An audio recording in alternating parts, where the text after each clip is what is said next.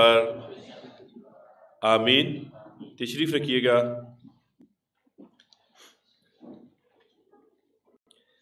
अभी वक्त है कि हम के कलाम में से मखसूस विरद को सुने। जिनके पास खुदाम का कलाम है, वो मेरे साथ मिलकर निकालिएगा। नए अहदनामे में मुकदस पालूस रसूल का ख़त रोमियो की के नाम। चौथा बाब और उसकी पहली आयत से लेकर पच्चीसवीं आयत तक हम खुदाम के कलाम को सुनेंगे। और इस मखसूस विरद की तलावत के लिए मैं दावत दूँगा मिस रिबा को कि वो सामने आए और तलावत कलाम में हमारी रहनमाई करें।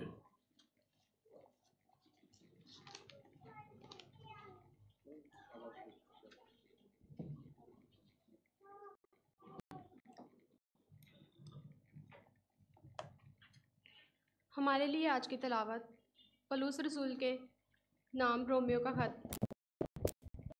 चौथा बाब पहली हम क्या कहें कि हमारे जस्मानी बाप अब्राहम को हासिल हुआ? क्योंकि अगर अब्राहम अमाल से रासबाज ठहराया जाता तो उसको फ़ख्र की जगह होती। लेकिन खुदा के नज़दीक नहीं। किताब मुक़दस क्या कहती है? ये कि अब्राहम खुदा पर ईमान लाया और ये उसके लिए रासबाजी गिना गया। काम करने वाले की मजदूरी, बख्शिश नहीं, बल्कि हक समझी जाती है। मगर जो शख्स काम नहीं करता, बल्कि बेदीन के रासबाज गिराने वाले पर ईमान लाता है। उसका ईमान उसके लिए रासबाजी गिना जाता है। चुनाचा जिस शख्स के लिए खुदा बगैर अमाल के रासबाजी मसहूब करता है, दाऊद भी उसकी मुबारक हाली इस तरह बयान करता है कि मुबारक हैं वो जिनकी बदकारियाँ माफ़ और जिन गुनाह ढांके गए। मुबारक वो शख्स है जिसके गुनाह खुदावंद मसूब ना करेगा। क्या ये मुबारकबादी मखतूनों ही के लिए है या ना मखतूनों के लिए भी? क्योंकि हमारा दावा ये है कि अब्राहम के लिए उसका ईमान रास बाजी गिना गया। बस किस हालत में गुना गया? या ना मखतूनी में? मखतूनी में नहीं, बल्कि ना मखतूनी में। और उसने खतना का निशान पाया कि उस ईमान की रासबाजी पर मुहर हो जाए, जो उसकी नामकतूनी की हालत में हासिल था। ताकि वो उस सब का बाप ठहरे, जो बावजूद नामकतून होने के ईमान लाते हैं। और उनके लिए भी रासबाजी मसहूब की जाए और उन मखतूनों का बाप हो, जो ना सिर्फ़ मखतून हैं, बल्कि हमारे बाप अब्राहम के उस ईमान की भी पैरवी करते हैं। जो उसे नामकतूनी की हालत में हासिल था।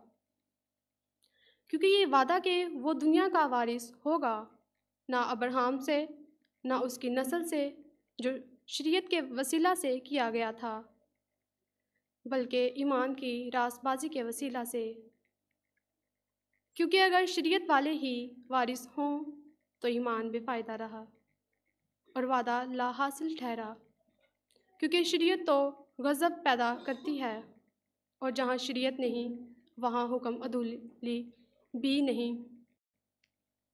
इसी वास्ते वो मिरास ईमान से मिलती है, ताकि फ़ज़ल के तौर पर हो और वह वादा कुल नस्ल के लिए कायम रहे, ना सिर्फ़ उस नस्ल के लिए जो शरीयत वाली है, बल्कि उसके लिए भी जो अब्राहम की मानित ईमान वाली है। वही हम सब का बाप है। चुनाचा लिखा है कि मैंने तुझे सब ही, मैंने तुझे बहुत सी कौमों का बाप बनाया। उस खुदा के सामने जिस पर वो ईमान लाया और जो मुर्दों को ज़िंदा करता है और जो चीज़ें नहीं हैं, उनको इस तरह बुला लेता है कि गोया वो हैं। वो ना उम्मीदी की हालत में उम्मीद के साथ ईमान लाया, ताकि इस कौल के मुताबिक कि तेरी नस्ल ऐसी ही होगी। वो बहुत सी कौमों का बाप हो। और वो जो तकरीबन सौ बरस का था, बावजूद अपने मुर्दा से बदन और सारा के रहम की मुर्दगी पर लिहाज करने के ईमान में ज़यीफ़ ना हुआ। और ना बेईमान होकर खुदा के शक किया, बल्कि ईमान में मज़बूत होकर खुदा की तमजीद की। और उसको कामिल एतकाद हुआ कि जो कुछ उसने वादा किया है, वो उसे पूरा करने पर भी कादिर रहे, है। इसी सबब से ये उसके लिए रासबाजी गिना गया और ये बात कि ईमान उसके लिए रासबाजी गिना गया और ना सिर्फ़ उसके लिए लिखी गई, बल्कि हमारे लिए भी, जिनके लिए ईमान रासबाजी गिना जाएगा। इस वास्ते कि हम उस पर ईमान लाए हैं जिसने हमारे खुदावन यसु को मुर्दों में से जिलाया। वो हमारे गुनाहों के लिए हवाला कर दिया गया और हमको रास बास ठहराने के लिए जलाया गया। कलाम मुकदस के पढ़े और सुने जाने पर खुदावन का शुक्र हो।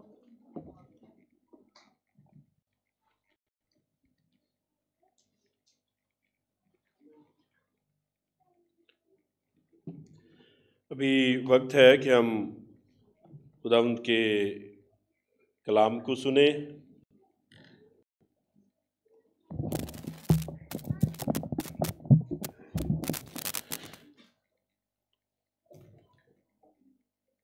नहायत अदब से मैं दरख्वास्त करूँगा रेवरेंड डॉक्टर अल्ताफ़ खान से कि खुदावंद ने हम सबों के लिए जो उन्हें कलाम अता किया है, हम सब तक पहुँचाएँ और इस कामुल उम्मीद से कि खुदावंद अपने कलाम के वसीला हमें बरकत देने वाला है। हम अपना दहना हाथ उठाएँगे, बुलंद आवाज़ से कहेंगे, आमीन। एक बार फिर कहेंगे, आमीन।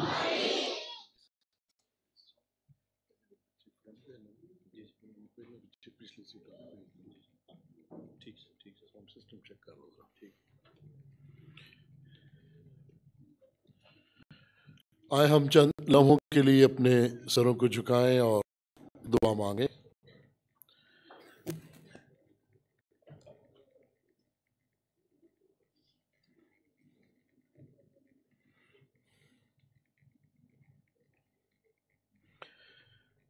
खुदा मन तेरी हजूरी में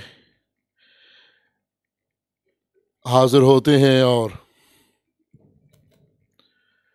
तेरा शुक्र बजा लाते हैं।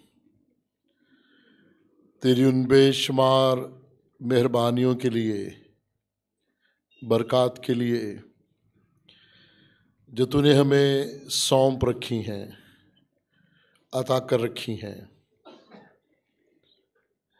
फिर आज के दिन के लिए जो तूने हमारी ज़िंदगियों में हमें अदा किया, कि ना सिर्फ़ तेरे पाक घर में मुकद्दस हैकल में हाज़िर होकर तेरी आवाज़ सुने और तेरी हम दो सना करें, बल्कि कलीसियाई रफाकत और शराकत में भी शामिल हो सके। जितने अज़ीज़ फेसबुक पर यूट्यूब पर ऑनलाइन आज के ज़िंदगी बख्श कलाम को सुन रहे हैं, उन सबों के लिए भी दुआ है। खुदावंद अपनी शफकत और रहमत का हाथ उन पर बढ़ाए रखना।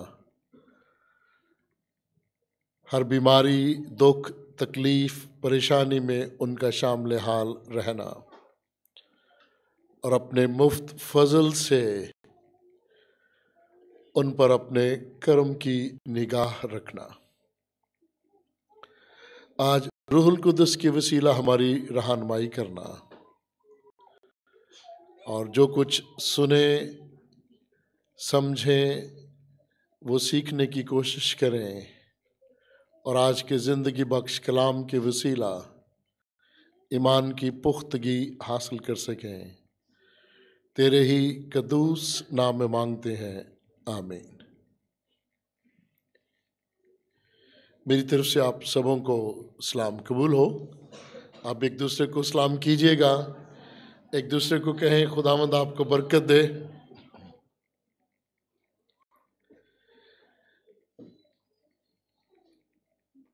हमने रोमियो के ख़त को शुरू किया है, जो पौलुस रसूल ने बड़े ही खूबसूरत अंदाज से लिखा है, जिसमें ज़िंदगी का कोई ऐसा पहलू नहीं है, जिस पर पौलुस ने रोशनी न डाली हो, और ये हमारे लिए बायस बरकत है।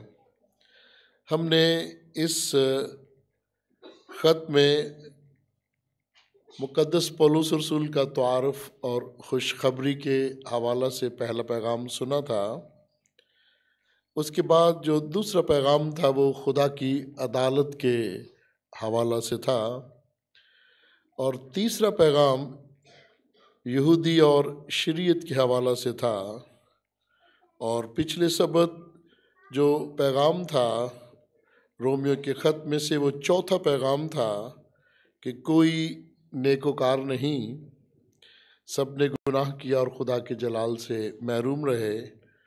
और आज पांचवा पैगाम है जो रोमियो के इसी ख़त में, चौथे बाब में हम सीखेंगे, और ये है, खुदा का वादा ईमान के वसीला से मौसर होता है।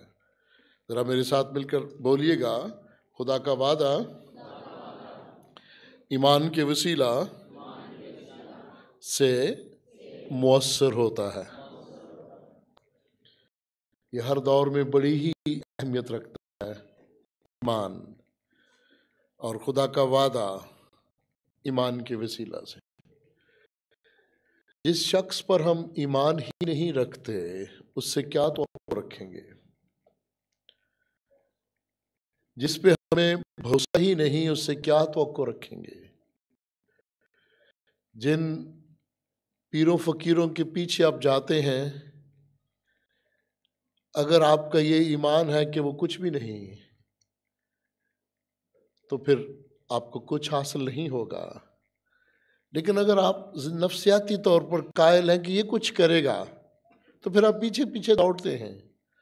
लेकिन एक वक्त आता है जब आपको समझ आ जाती है कि ये तो हमारी ही तरह का इंसान है। इसको किसने बनाया है? इसको किसने को दे रखी है। किसकी पाक मर्ज़ी से ये चलता फिरता है? और फिर एहसास होता है कि कायनात में एक ही शख्सियत है, जिसका ना कोई शुरू है और ना कोई आखिर है। उसके बेशुमार नाम हैं जो बहुत सारे मज़ाहब में लिए जाते हैं। मुख्तलिफ़ नाम हैं उसके। लेकिन आम तौर पर पंजाबी लोग कहते हैं ऊपर वाला या नीली छत वाला या रब का लफ्ज़ भी इस्तेमाल करते हैं। ठीक है, खूबसूरत नाम है। हमसे इब्रानी या यूनानी या अरबी नाम के दफ़ा नहीं बोले जाते तो ठीक है, ऊपर वाला भी ठीक है, रब भी ठीक है, कुदरत वाला भी ठीक है, बेशुमार नाम है। लेकिन अजीज़ो, आज जब मैं ये कहता हूँ कि खुदा का वादा तभी पूरा होगा जब हमारा ईमान उस पर होगा। ईमान अगर किसी इंसान पर है तो फिर वो खुदा से आप कैसे उम्मीद रखेंगे कि ये खुदा वादा पूरा करेगा? ठीक है जी? आप दो कश्तियों में तो पाँव नहीं रख सकते ना। आप दो लोगों पर या दो शख्सियात पर भरोसा करें कि ये नहीं तो ये कर देगा, ये नबी नहीं तो ये नबी कर देगा। और ये सोचें कि भी मैं हर नबी से बड़े अच्छे ताल्लुकात रखना चाहता हूँ और नबी भी हम खुद ही बना लें कि मेरा यही सब कुछ है। रसूल भी हम खुद ही बना लें, अपने नाम भी रख लें और दीनी रहनुमाओं में जो बड़े बड़े नाम है, वो रख लें? मैंने एक लफ्ज़ सुना है, आलम। मैंने उसका ज़िक्र किया कई दफ़ा। एक मैंने नाम और सुना है, शमसुल आलम। शमस, सूरज को कहते हैं? यानी ऐसा आलम जो, है, सूरज जैसी रोशनी रखता है। जिस तरह नहीं हम कहते हैं, बिशप और उसके बाद आर्च बिशप है हम्म? शमस शमस आलम। क्या बात है? कौन सा इंसान है जो इतनी कुदरत और इख्तियार रखता है? दुनिया के बेशुमार बादशाह आए और गए, अपने वक्त पर आए और चले गए। जो जो हमारी ज़िंदगी के दिन बुढ़ापे की तरफ़ जाते हैं तो हम समझ जाते हैं कि अब अब मेरे इस जहाँ से जाने का वक्त आ रहा है। ये निज़ाम कुदरत है। जितनी मर्ज़ी हम कोशिश कर लें, इंसान का इकतदार भी मुखसर होता है, उसके वसाइल भी महदूद होते हैं। उसकी उम्र की हद भी मुकर है। लेकिन खुदा हमें ये सिखाना चाहता है कि जो वादा मैंने किया है, उस पर ईमान लाओ। वो मौसर है। वो असर रखता है। जो इंसान वादा करता है, वो इतना मौसर नहीं है। वो गैर मौसर भी हो सकता है। और अजीज़ो, इस बाब में, चौथे बाब में, जो खूबसूरत मिसाल है, वो इब्राहिम की है। उसका पहला नाम इब्राहिम है। जब वो मुल्क इराक से निकला, उस वक्त तो कोई दुनवी दीन नहीं था। वो बुत प्रस्त लोग थे, बुतों के मानने वाले थे। और अगर हम रोमियो के ख़त का मुताला करें तो इनके अपने अपने देवता और अपनी अपनी देवतियाँ थी। और आज के दौर में भी यूरोप में और हमारे बरसगीर में हिंदुस्तान में बहुत सारे देवता और देवतियाँ हैं। और जो लोग क्लासिकल म्यूज़िक सीखते हैं, मैं उनसे कभी कभार सुनता हूँ कि उनकी बहुत सारी जो रागे हैं वो देवी और देवताओं के हवाला से हैं। अब अजीज़ो, इब्राहिम को तो एक ऐसे ख़ानदान से बुलाया गया, जो बहुत प्रस्त था। उसका खुदा से कुछ उस वक्त कोई गहरा तौलक नहीं था। शायद इतना ही जानता हो कि कोई है जो उनको संभाल रहा है। इस हद तक होगा। जिस तरह लोग सूरज को, शमस को अपना देवता समझते थे, चाँद को अपना खुदा मानने वाले, देवता मानने वाले, आज भी करोड़ों बल्कि कई अरब आबादी है उनकी, जो चाँद को मानते हैं। अब आप अंदाज़ा कर सकते हैं कि और कितने कितने अजीबोगरीब जानवर हैं जिनकी उन्होंने शबीहें बना रखी हैं जिनको वो मानते हैं। अपने बदन पे टाटू बनाए हुए हैं, उन जानवरों के, उन, उनकी शबीहें बना रखी हैं। और अजीज़ो, इब्राहिम का पस मंज़र भी एक ऐसे ही घराने से था, लेकिन खुदा इंसानों को सिखाने के लिए, नस्ल इंसानी को सबक देने के लिए। इंसानी तारीख में से एक ऐसे शख्स को चुनता है, एक ऐसे ख़ानदान को चुनता है, जो बे औलाद थे। उन्हें चुना ताकि वो दुनिया को सिखा सके बनी नो इंसान को सिखा सके कि मैं कादर मुतलक हूँ। मैं इख्तियार रखने वाला हूँ, कुदरत वाला हूँ। और उसको ये कहा, अपने ख़ानदान को, अपने रिश्तेदारों को, नातादारों को छोड़। और जहाँ मैं कहता हूँ, वहाँ चल। और वो मुल्क के किनान में, जिसको आज के दौर में लोग फ़लस्तीन भी कहते हैं, मुल्क के किनान बहुत बड़ा मुल्क था उस ज़माना में, अब तो वो बहुत सारे छोटे छोटे ममालिक में बट चुका है। उस दौर के मुल्क किनान की बहुत सारी ज़ुबानें भी थीं, बड़े मुख्तलिफ़ कल्चर तहजीबें थी। अगर आप बाइबल मुकद्दस के नक्शे को देखें तो आप हैरान होंगे मुल्क किनान कितना बड़ा था और कौन कौन सी नस्ल वहाँ पर आबाद थी, उनकी ज़ुबानें क्या थीं। और वो खुदा को छोड़कर बुतों की पूजा करते थे, खुदा की तोहीन करते थे। और मैं महसूस करता हूँ, इसीलिए खुदावंद ने मूसा को भी पहला हुक्म यही दिया था कि तू एक खुदा को मानना बुतों की पूजा ना करना। हुँ? अपने लिए कोई ऐसी शबी ना बना लेना। हाथ की बनाई हुई शबी को ही सिजदा ना करते रहना। तू शख्सियत प्रस्ती की तरफ़ मायल ना होना। एक और लफ्ज है, मादियत प्रस्ती। रुपया पैसा, मालो दौलत। मालो दौलत या चंद महँगी चीज़ें अपने पास रख के उन्हीं की तारीफ़ करते रहना और वो दूसरों को बताते रहना कि मेरे पास बहुत कुछ है। अजीज़ो, मादियत परस्ती भी तो बुत परस्ती है। शख्सियत परस्ती भी तो बुत परस्ती है। और ये उस दौर में आम थी, आज भी आम है। और खुदा इब्राहिम को वहाँ से निकालता है, मुल्क किनान में लाता है बूदोबाश वहाँ करवाता है, शायद उसको पूरे मुल्क का दौरा करवाना चाहता है कि वो देख ले कि ये मुल्क उसकी नस्ल को मिलेगा। वादा किया है। मैं ये मुल्क तेरी नस्ल को दूँगा।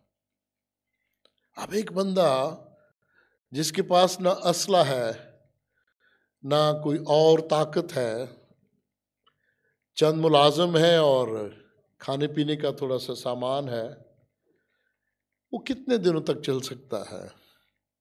और वो निकल पड़ा और उसने हुक्म माना।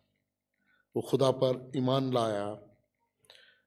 और यहाँ खूबसूरत आयत है कि इब्राहिम क्या शरीयत की वसीला से रास्तबाज ठहराया गया?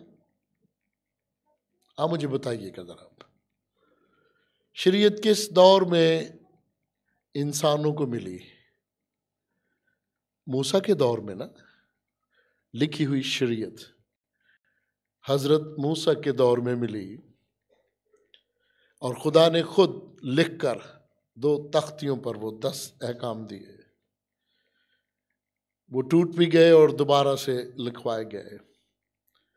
और जब दिए गए तो मंजर ही उस पहाड़ का अजीब गरीब और जलाली और खौफनाक था। वो खुदा की मौजूदगी और उसके जहूर को, उस नज़ारे को पेश करता था। अब इब्राहिम तो उस वक्त नहीं था ना? इब्राहिम तो उससे बहुत पहले था।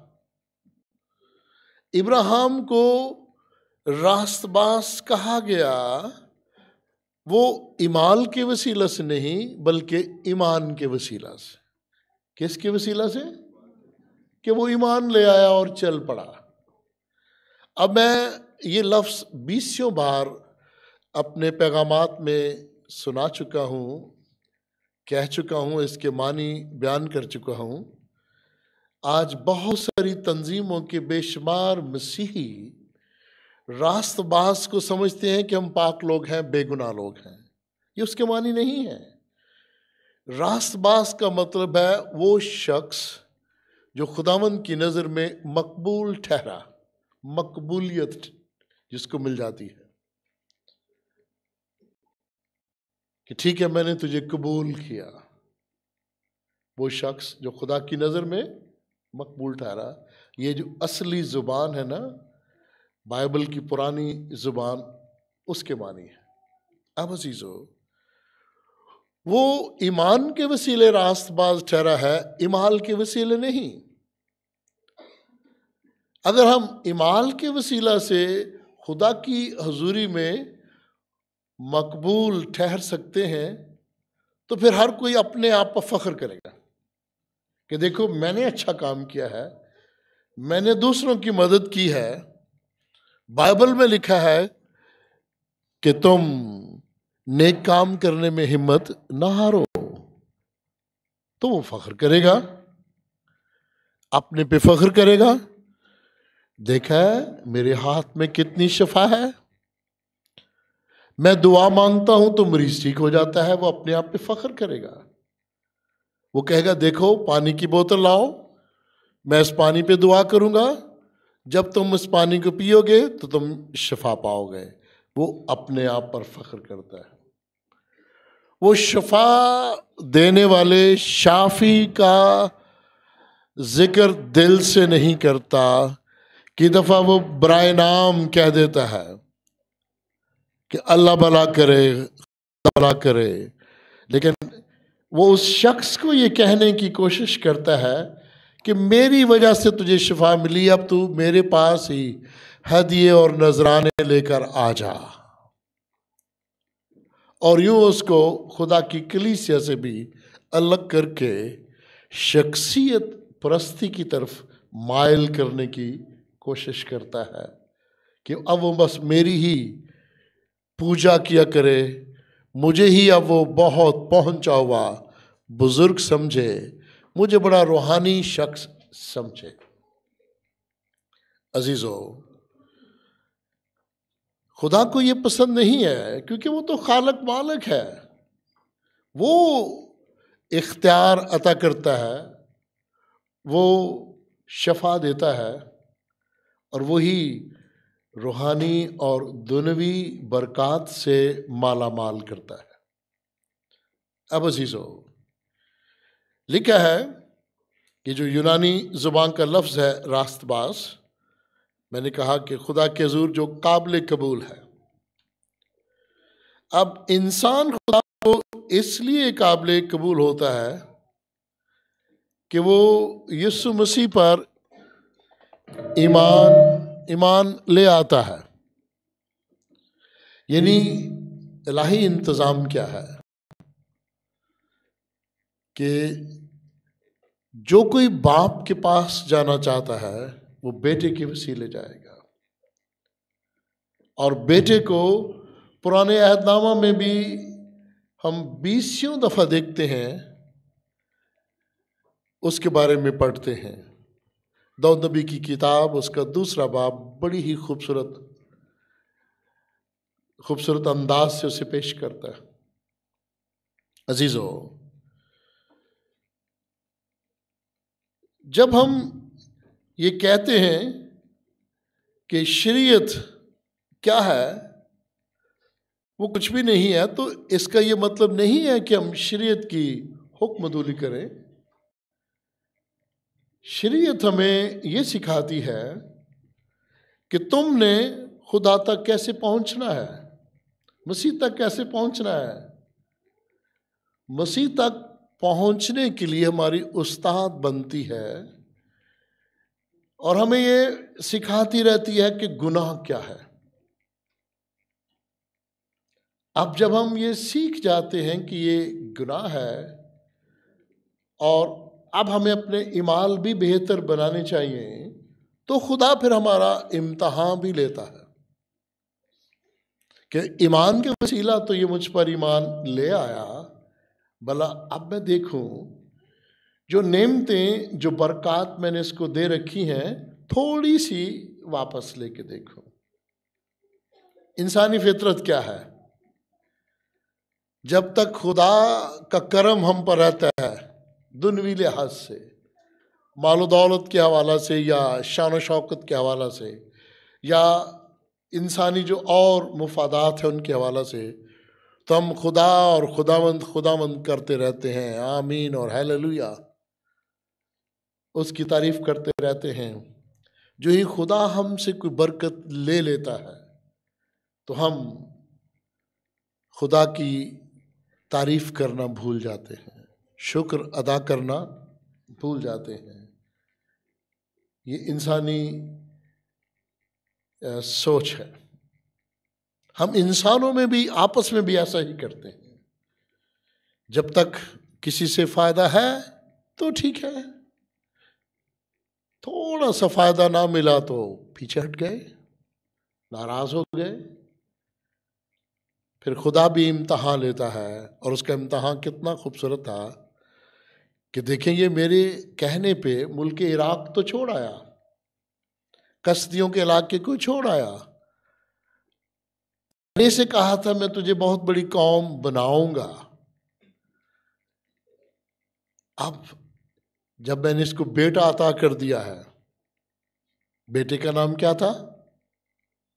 इब्राहिम के बेटे का क्या नाम था? जी, इसहाक। तो फिर कहा इसको मेरे लिए कुर्बानी के लिए पेश कर दे, कुर्बान कर दे मेरे लिए। अज़ीज़, उस ज़माना में लोग देवी देवताओं के सामने अपने बच्चों को कुर्बान किया करते थे, जिसे वो बहुत प्यार करते थे। देखें, देवी देवताओं की ख्वाहिश के मुताबिक, या जो पत्थर के बने हुए बुत थे ना उनके जो पुजारी थे या वहाँ जो खिदमत करने वाले थे उनके कहने पर वो अपने बच्चे बच्चियों को उन देवताओं के सामने ले आते थे। क्योंकि बुद्ध तो बोलते नहीं थे ना। पत्थर के बनाए हुए लकड़ी के बनाए हुए मट्टी के बनाए हुए बुद्ध तो बोल नहीं सकते थे ना। वहाँ खड़े जो लोग थे जो बुराए नाम कह लें या आ, अस रखते थे जिनका ये रोज़गार बन गया था कि उन्होंने वहाँ कमाई खानी है हुँ? हम्म?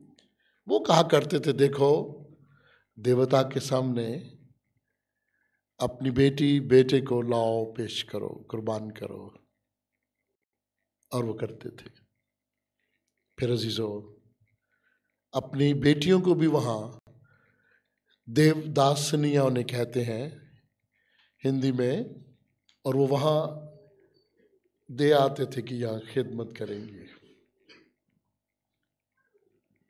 ये उनका ईमान था।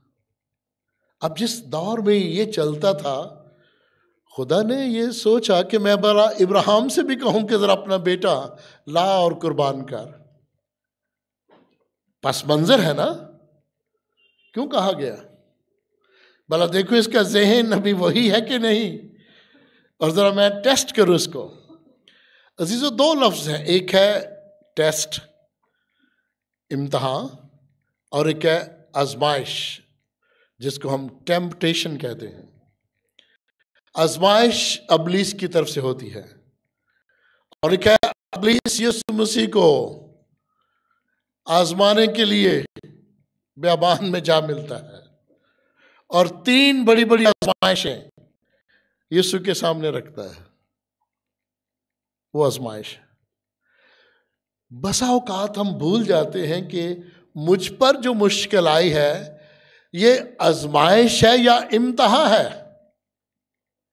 कि दफ़ा बीमारी को भी हम समझ लेते हैं ये आजमाइश है या हम भूल जाते हैं कि नहीं नहीं ये इम्तहा है। खुदा अब मेरे ईमान इम, का इम्तहान लेने लगा है। अब वो चेक करने लगा है कि मैं इसको देता तो बहुत कुछ रहा। देखो मैंने इसको बुढ़ापे में बेटा दे दिया है। देखो मैंने इसको ये कह दिया है कि तू बहुत सारी कौमों का वारस होगा, मालक होगा, कौमों का बाप कहलाएगा। अब भला हुक्म मानता है कि नहीं? और वो खूबसूरत कहानी पदाश की किताब की इब्राहिम ने हुक्म माना। यानी उसके ईमाल का इम्तहा भी हो जाता है, ईमान का भी इम्तहान जाता है। इसलिए अंजील मुकदस में याकूब के आम ख़त में लिखा है कि ईमान बग़ैर इमाल के मुर्दा है। लेकिन आपको फ़ख्र ना करे कि मेरे ईमाल बड़े अच्छे हैं। अच्छे ईमाल भी ईमान ही के वसीला से मिलते हैं। क्यों जी? जरा हालेलुया कहिएगा। आमीन कहिएगा। यानी अगर मैं और आपको अच्छा काम कर लेते हैं तो वो भी खुदा का दिया हुआ ईमान है ना? अगर मेरी किसी बहन को या भाई को किसी पे तरस आ जाता है कि चलो मैं इसकी सौ पचास मदद कर दूँ तो वो बात भी तो खुदा दिल में डालता है कि कर दो। और हम बच्चों को भी ये तरबियत देते हैं और देनी चाहिए। बचपन ही से देनी चाहिए। जब आप उन्हें जेब खर्च देते हैं ना, याद रखिए मैंने बड़े बड़े ओलमा जिन्हों, जिन्हें हम मसीही कलीसिया के रहनुमा कहते हैं। उन्होंने क्या सीखा बचपन में? माँ ने जितने पैसे दिए, कहा, इसमें से तूने इतने पैसे खुदा के लिए, शुक्रगुजारी के लिए रखने। और वो लोग जो बचपन से ऐसा करते रहे, वो अजीम रहनमा बन गए। देखिए, इंसान तो बेशुमार है दुनिया में, मजाहब भी बेशुमार है। लेकिन मुझे और आपको क्या कहा गया है कि तुमने खुदा के नाम को इज़्ज़त और जलाल देना है। जब खुदा की मखलूक पर हम रहम करना सीख जाते हैं, तर्स खाना सीख जाते हैं। एक और लफ्ज़ है, इंसाफ करना सीख जाते हैं। तो गोया, खुदा की वो खूबियाँ, खासियतें हम में नज़र आती हैं। इब्राहिम का इम्तहान हुआ और वो पास हो गया। पूरी कहानी दोहराने की ज़रूरत नहीं है ना? वो कामयाब हुआ। उसके बाद उसका रुतबा भी अब बढ़ता जा रहा है। अजीज़ों, खुदा हमें छोटी छोटी बातों में समझाने के लिए, सिखाने के लिए हमारा इम्तहान लेता है कि हम पूरा उतरते हैं कि नहीं। और मैं बरमला ये कहता हूँ कि देखिए, मैं भी एक देहाती पासपा का बेटा हूँ ना। और मैंने भी अपनी खिदमत का आगाज़ सिफर से शुरू किया ना, और ये मैं बड़ी दफ़ा कहता हूँ, अगर खुदा ने कोई ख़ास बरकत दी है तो वो मेरा फ़ख्र नहीं है।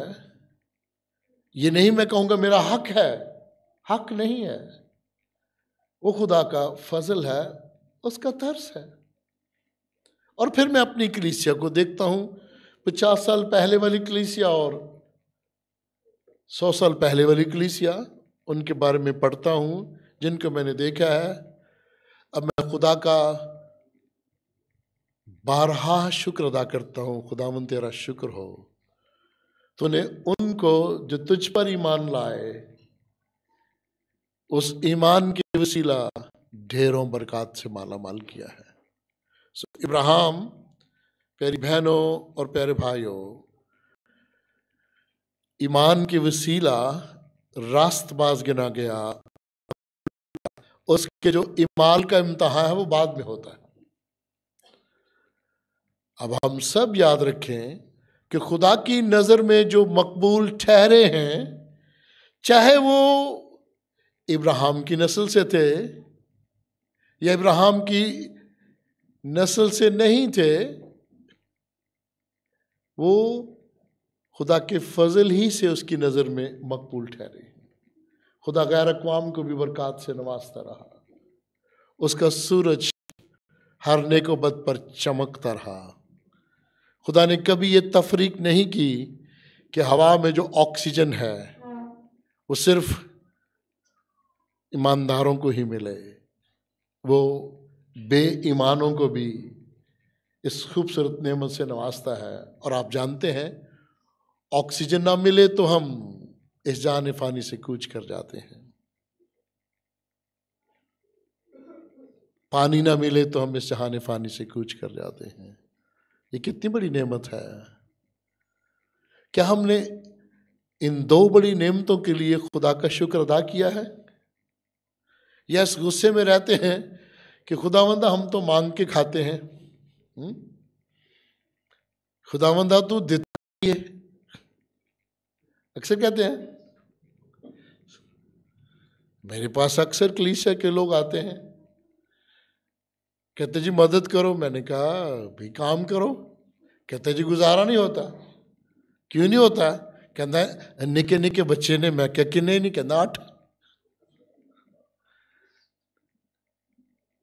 तो फिर मैं क्या खुदा से मांगो।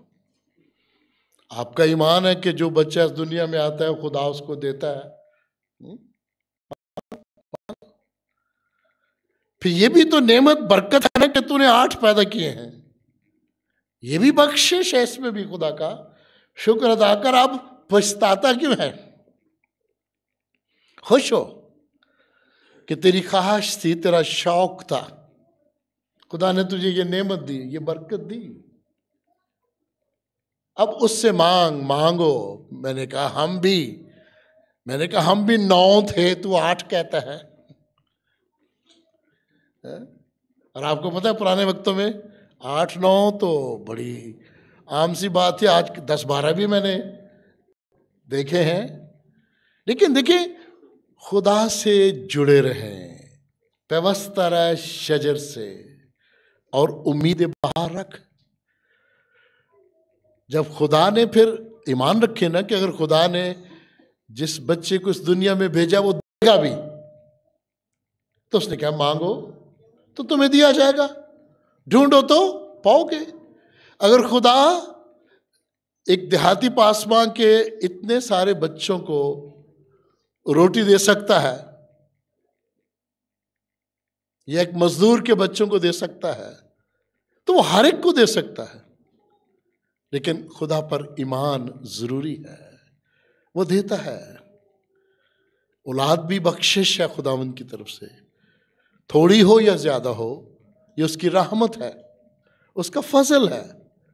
लेकिन उसके साथ जुड़े रहें, उससे मांगे, वफादार बनकर कि खुदावंदा, ये तेरे हैं, तूने मुझे दिए हैं। बेशक मेरी भी ख्वाहिश है। लेकिन फजल तेरा है।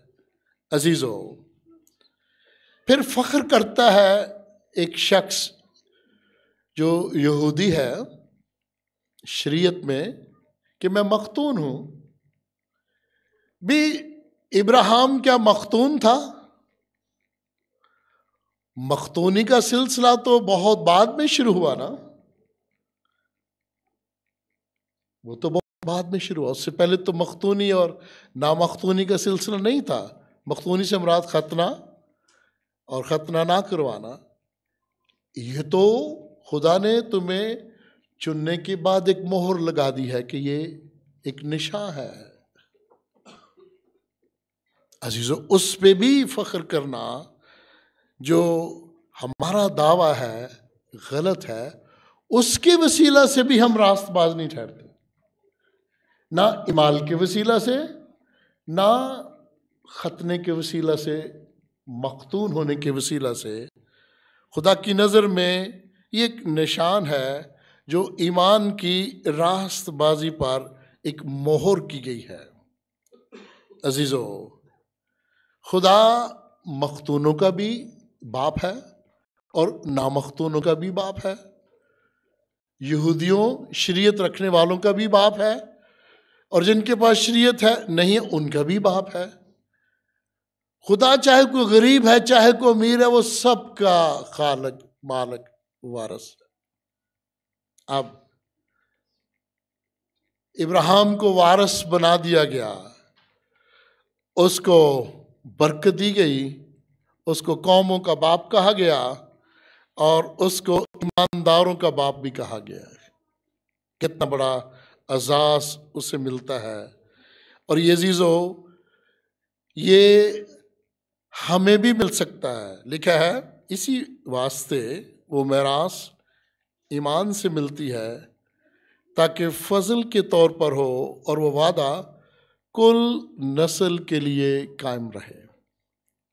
इसलिए हमने ये सीखा है कि हम भी ईमान लाने के वसीला से इब्राहिम के ख़ानदान में शामिल होते हैं। बाप इब्राहिम के ख़ानदान में हम शामिल होते हैं ईमान के वसीला से। और ये सबक जब हम सीख जाते हैं तो उसके बाद जो अहम सबक आता है वो ये है, खुदा चाहता है कि वो तुम्हें ये सिखाए कि मैंने गोद खाली करके बेटे को दुनिया में भेजा। अपने आप को ज़ाहिर किया कि मैं वो शख्सियत हूँ, जो कादर मुतलक हूँ, वो दुनिया में आया और उसने, अजीज़ो, ये कहा कि कोई मेरे वसीला के बगैर बाप के पास नहीं जा सकता। पहले ईमान का सबक मिलता है, फिर किसके वसीले अगर आना है ईमान के वसीले तो वो है यीशु मसीह के वसीला। लेकिन ईमान के साथ फजल का दर्स दिया जाता है, ताकि खुदामंद की कुदरत और जलाल ज़ाहर हो। लिखा है, उन्नीसवीं आयत में, और वो जो तकरीबन सौ वर्ष का था, बावजूद अपने मुर्दा से बदन और सारा के रहम की मुर्दगी पर लिहाज करने के ईमान में ज़यीफ ना हुआ। उसने ये नहीं कहा कि मैं बूढ़ा हूँ। जस्मानी लिहाज से मैं कमज़ोर हूँ। तो क्या हम शक करेंगे? हम भी शक नहीं करेंगे। हम ये ईमान रखते हैं कि खुदा सब कुछ कर सकता है। और अजीज़ो इसीलिए खुदा ने इब्राहिम को रास्तबाज ठहरा है।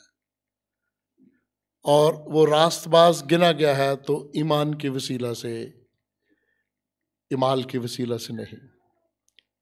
मैंने आपको एक दिन बताया था कि दुनिया में कुछ ऐसे लोग बड़े बड़े लोग, वो इकट्ठे हुए हैं और उन्होंने कोशिश की है कि दुनिया के जो कुछ मजाहब है ना बड़े बड़े इनको इकट्ठा करके तो एक मज़हब कायम किया जाए जिसका नाम हो दीन इब्राहिमी।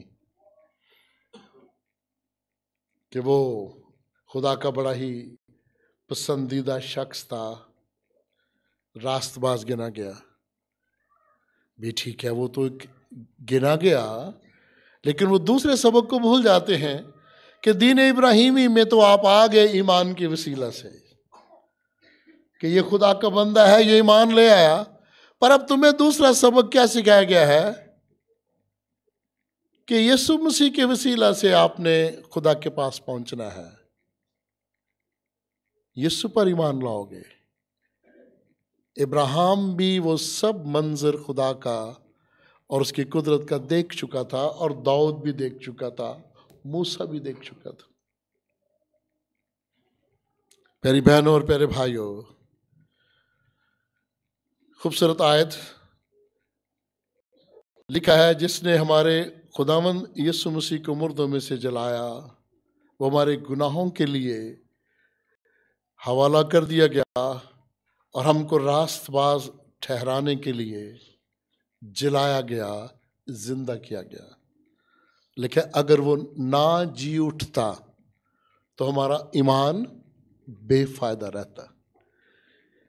जिस पे हम ज़ोर दे रहे हैं ना कि यसु मसीह पर ईमान के वसीला से। और यसु मसीह की तारीफ़ हमने बीसियों दफ़ा की है, सुनी है कि वो अल्फ़ा है और वो ओमेगा है। वो अव्वल है और वो आखिर है। ना उसका कोई शुरू है और ना उसका कोई आखिर है। और ये भी सुना है कि खुदा मोहब्बत है और खुदा रूह है। वो ज़ाहिर हुआ जिस्म की सूरत में और अब रूहुल कुदस की, के तौर पर रूहुल कुदस की की वसीला हम पर ज़ाहिर होता है और हर जगह मौजूद होता है। आए चीज़ों अपनी सारी कमज़ोरी में बेशक माली परेशानियाँ बेशुमार हैं। जितना कोई बड़ा है, जितना कोई बावसाइल है, उतने ही उसके मसाइल हैं। ये मत सोचिएगा कि वज़ीर आज़म या बादशाह के मसाइल नहीं होते। ये मत सोचिएगा कि फला आदमी आपको, आपकी नज़र में लखपति या करोड़पति नज़र आता है। नहीं, उसके अपने मसाइल हैं। अजीज़ों, मैंने बहुत सारे दोस्तों, अजीज़ों से पूछा है, जो यूरोप और अमेरिका में रहते हैं, कि आप एक आज़ाद मुआरे में रहते हैं, सुनाए आप आज़ादी से अपने अकीदे का प्रचार कर सकते हैं? तो उन्होंने मुझे हज़ारों मिसालें बताई हैं कि नहीं, वहाँ भी बहुत सारी रुकावटें हैं। कहते हैं कि जब हम आज़ादी से अपने दीन की, अकीदे की तबलीग करते हैं तो दूसरे लोग क्या कहते हैं? जी, ये हमारे जज्बात को मजरू करते हैं। वो इस बहाने अदालतों में चले जाते हैं। यानी कोई ना कोई रुकावट जो है वो वहाँ नज़र आती है।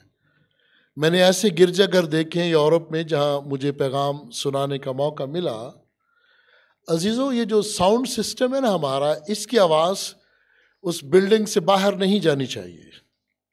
अगर पड़ोसी के घर तक वो आवाज़ चली गई तो वो भी अदालत में जाके आप पर केस कर सकता है कि इनके शोर से मुझे तकलीफ़ है। कुत्ते के भौंकने से जो आपने रखा है, पड़ोसी आप पर केस कर सकता है। आप लाउड स्पीकर पर तबलीग करेंगे तो वो केस कर सकता है। देखिए, हर मुआशरा में कितनी अजीब गरीब रुकावटें हैं। अगर हमारे लिए चंद रुकावटें हैं तो देखें कुछ मौजे भी है ना। मौज है ना? कितना ऊँची आवाज़ में हम साउंड सिस्टम लगाते हैं। मैं आपको बड़ी ये मजाया कहानी बताता हूँ। ये हकीकी वाक़ है। अपने ही जो चर्चेज हैं ना, तंजीम के हमारी, मुझे वहाँ मेहमान खसूसी बुला के बैठाते हैं बड़े प्यार से, इज़्ज़त से। और छोटा सा हॉल है और दो बड़े बड़े ये जो आप स्पीकर देखते हैं ना साउंड सिस्टम वाले, इनसे चार गुना बड़े, छोटे से हॉल में और फुल आवाज़। और मैं ब्लड प्रेशर वाला बंदा हूँ, मेरे फिर सर दर्द शुरू हो जाती है तो मैं हाथ जोड़ के बाहर आ जाता हूँ। अब देखिए, मैंने पता नहीं हज़ार बार उन्हें कहा कि यार, बूढ़े लोग भी यहाँ बैठे हैं, बीमार भी बैठे हैं, इतनी आवाज़ ठीक नहीं है। फिर जो मैंने साइंस पढ़ी है, उसका भी बताता हूँ कि इतनी आवाज़ होनी चाहिए, कानों के लिए जो मुनासिब है और जो दिमाग के लिए मुनासिब है। फिर जब शादी हाल में जाते हैं तो वहाँ भी ऐसा ही है। तो मैं शादी हाल में भी जब मुझे वो पहली सीट पे बैठाते हैं ना तो मैं तरला डाल के पीछे जाने की कोशिश करता हूँ। फिर वो कहते हैं, नहीं नहीं, आप में मान खसूसी हैं। और गिरजाघरों में जब मैंने देखा ना कि साउंड सिस्टम वाले नहीं बाज आते तो कई बार बहसीत मेहमान खसूसी, मैं उठ के बाहर आ जाता हूँ। कुर्सी लेके बाहर सेन में बैठ जाता हूँ। कि चले, आप गाएँ और आप बोलें, आप खुश रहें। तो मैं कहता हूँ, कितनी मौज है। पड़ोसी भी बेचारे चुपचाप हैं। और वहाँ जो हाल में बैठे हैं, वो भी कितने मजबूर हैं। और हम कितने खुश हैं कि देखो, मैं कितनी खुशी से, आज़ादी से मज़हब की प्रचार कर रहा हूँ। भी ये कौन सा मज़हब है जो दूसरों को तंग करे? ये मुआशरे की एक अक्सी की है मैंने, एक तस्वीर पेश की है कि खुदा मुख्तलिफ़ मुआशरों में हमारे लिए इम्तहान का माहौल भी पैदा करता है और कई कई दफ़ा हमें अबलीस के स्पुर्द भी कर देता है कि चाल फिर जा, मगरोलात। कई दफ़ा बनी इसराइल को गैर अकवाम के स्पुर्द कर दिया गया। ये पढ़ी है ना आपने बाइबल की तारीख? और गैर कौमों ने मार मार के उनका सत्यानाश कर दिया था। और यहाँ तक कि उन्हें वो मुल्क के किनान छोड़ के भागना पड़ा और वो दुनिया जहाँ के बहुत सारे मुल्कों में तितर बितर हो गए। अजीज़ों, जब हम खुदा को छोड़ देते हैं तो फिर एक वक्त आता है खुदा भी हमें छोड़ देता है और वो हमें अबलीस के हवाले कर देता है कि अब तू इसे ठीक कर दे। सीखे ज़रा ये भी। आए, इब्राहिम की खूबसूरत मिसाल कि वो, उसने खुदा का इम्तहान नहीं लिया, उसने कहा, ठीक है, जदौन की कहानी पढ़ेंगे तो उसने इम्तहान लिया था। चेक किया था खुदा को। हम भी करते हैं। ऐ खुदा बंदा पहला मैनू ऐ शह दे पहले मुझे वो शह दे ये करते हैं ना? तंजीमों में भी हम कहते हैं ए मिशन सानू की देगी? ये तंजीम सानू की देगी? अपनी कन्वेंशन ते बुला रही है, बस भेजेगी कि नहीं? बस च लंच बॉक्स मिलेगा कि नहीं? हम इस तरह की शरात रखते हैं आपस में भी, खुदा से भी रखते हैं। खुदा खुदावंदा मैं बेऔलाद हूँ, तूने मुझे बेटा बेटी दी नहीं। तो तू कहता है, मेरे हुक्मों पर अमल कर। तूने मुझे रहने के लिए अच्छा मकान नहीं दिया, खाने के लिए अच्छी चीज़ें नहीं दी, मैं तेरी तारीफ़ क्यों करूँ? अजीज़ो, खुदावंद का शुक्र अदा करें, इस इस्लामी देश में बेशक मिसाइल है, हर मुल्क में है, लेकिन ये उसका फजल है कि उसने हमें ये आज़ादी आज़ादी की भी हद होनी चाहिए ना? ये आज़ादी दे रखी है कि हम अपनी मर्ज़ी से, खुशी से यीशु की बिशारत कर सकते हैं, खुशखबरी का पैगाम दे सकते हैं, अपने ईमान की तबलीग कर सकते हैं। आए, आज का जो ख़ास मजमून है, उस पर गौर करें कि खुदा का वादा ईमान के वसीला ही मौसर होता है। बेईमान रहेंगे तो फिर भड़क जाएँगे। और ये घबराइए ना कि आपके ख़ानदान में बच्चे ज़्यादा हैं, खर्च ज़्यादा कोई बात नहीं। चाइना कितना बड़ा मुल्क है, कितनी आबादी है उसकी।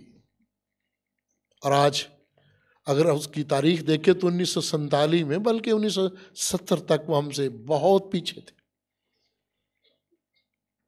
और वो धैर्य हैं, वो खुदा पर ईमान नहीं रखते। इतनी बड़ी आबादी को खुदा ने कितनी बरकत से नवाज़ दिया है। और अजीज़ों, वो भी चाँद पे पहुँच गए हैं। देखिएगा ज़रा। खुदा मखतूनों और नामखतूनों दोनों को प्यार करता है। वो चाहता है कि हर कोई सीखे, हर कोई सीखे। अहम खुदा की इन सारी नेमतों के लिए उसका शुक्र अदा करें। खुदा मन से कहें कि तू भला है और तेरी शफकत अबदी है। शुक्रगुजारी की दुआ के लिए पादरी अलियास अशरफ साहब आएँगे। और आज के ज़िंदगी बख्श कलाम के लिए ख़ास दुआ मांगेंगे। फिर जो बीमार हैं, मसूदाबाद में भाई जवेद, उनके भाई को छत से गिरने से चोट लगी, फिर भाई हारून आबद हैं, और भाई अनवर हैं, ठीक है, लेकिन शुक्र है हमारी बहन मिसेस प्रोफेसर सैमुल अख्तर भी बिल्कुल ठीक हैं। और बहुत सारे मेरे दोस्त भाई आज ख़ास तौर पर हमारे सेमिनरी के तालब इलम हैं। भाई वसीम हमारे दरमियान बैठे हैं। खुदावंद का शुक्र है, उनकी मिसेस एक महीना तक बीमार रही अजीज़ों। गलत टीका लग गया, इंजेक्शन लग गया, उनको उसका रिएक्शन हुआ और वो बेहोशी में चली गई और वेंटिलेटर पर रही, ऑक्सीजन लगती रही, और दिमागी अमराज के जो डॉक्टर्स थे वो इलाज करते रहे। यानी बिल्कुल ना उम्मीदी में खुदावंद ने उस ख़ानदान को एक कितनी खूबसूरत उम्मीद बख्श दी कि वो अब बिल्कुल ठीक है, अब ड्यूटी पर हैं। हमारी वो बेटी स्टाफ नर्स हैं सोशल सिक्योरिटी अस्पताल में। आज वो वहाँ बैठी। यहाँ भाई वसीम बैठे हैं, है? शाबाश, खुदावंद ने दुआओं के वसीले आपकी सुनी है। उस, उनके साथ मेरे भाई आसफ बैठे हैं, उनके बेटे को खुदावंद ने आला कामयाबी अता की है यूनिवर्सिटी में। देखिए खुदावंद की नेमते, अगर वो बीमारी से हमें छुड़ा सकता है, दुख, तकलीफ़ से छुड़ा सकता है तो पक्के रहें। अगर बीमारी में रहने भी देता है तो भी उसका शुक्र अदा करें। भाई मैनुअल साहब की बेटी, मैं इतना खुश हूँ छोटी सी प्यारी सी बच्ची, और मैं देखता हूँ इतनी इतनी किताबें पढ़ के नौ सौ हज़ार नंबर लेना और अजीज़ों बी एस एन, यानी नर्सिंग में जाना, ये कोई आम बात नहीं आजकल। ये खुदा की नेमते हैं, बरकत हैं अजीज़ो। हर बात में खुदावन का शुक्र अदा करें। और बीमारों को भी ज़रा याद कीजिएगा। भाई हरून आबद को मैं आ, मेरा ख्याल है दस दिन हो गए हैं शायद। मैं उन्हें मिल के आया उनके घर में और उस दिन मुझे नहीं पता था कि मिसेस वसीम भी बीमार उनका गला बंद है अभी तक। उनके लिए भी दुआ मांगिएगा। खुदावंद रहम करने वाला है। वो सुनता है। और आज का जो खूबसूरत पैगाम है वो है ईमान के हवाला से है। और ईमान के लिए गरीब अमीर का फ़र्क नहीं है। मखतून ना मखतून का फ़र्क नहीं है। यहूदी और यूनानी का फ़र्क नहीं है। मसीही और गैर मसीही का फ़र्क नहीं है।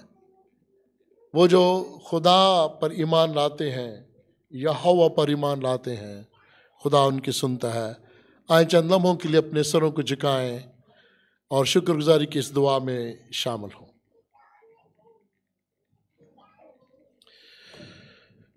खुदा कादर मुतलिक, हम तेरा शुक्र, तेरी तारीफ़ करते हैं।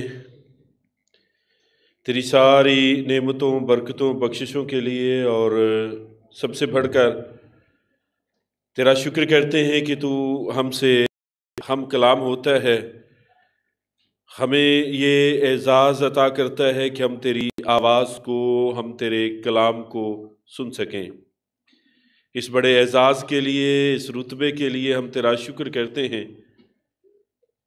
कि तू अपना पा कलाम हम हम पर नाजल फरमाता है। और तेरा शुक्र करते हैं कि तू अपने खादमों के वसीला, अपनी कलीसिया से हम कलाम होता है।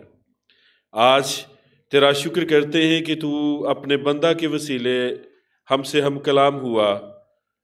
तेरा शुक्र करते हैं तेरे बंदा के लिए, तेरे बंदा के घराने के लिए, जिन्होंने बड़े ही आसान लहजे से तेरे कलाम की अमीक बातों को हम पर वाज तौर पर ज़ाहिर किया।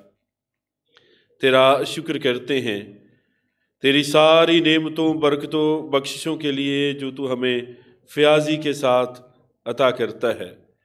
ये तेरा ही फजल है कि आज हम अपने अपने घरानों में बाबरकत नज़र आते हैं। इसमें हमारी मेहनत नहीं, बल्कि ये तेरा फजल है। तेरा शुक्र करते हैं। तेरे खादम अपने रहनुमा के लिए, जिनके वसीला तेरे कलाम की खूबसूरत बातें हमने सीखी। और आज उन तमाम अजीज़ों को जो बीमार हैं, उन्हें भी तेरी हजूरी में लाते हैं, एल्डर अरशाद के लिए, उनके घराने के लिए। जो हमेशा खुदम तेरे घर में इशा रुबानी के सामान को लेके आते हैं, अपने बंदा के घराने को बड़ी बरकत दे।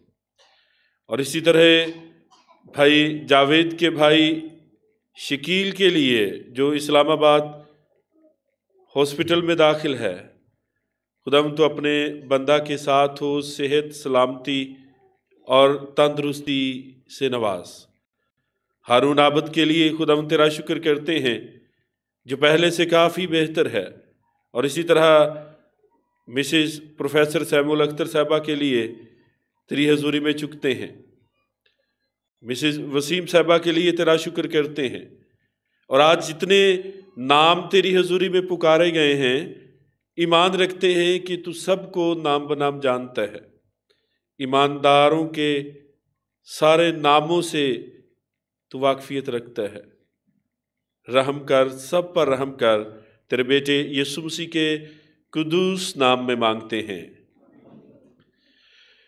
खुदा का शुक्र करते हैं।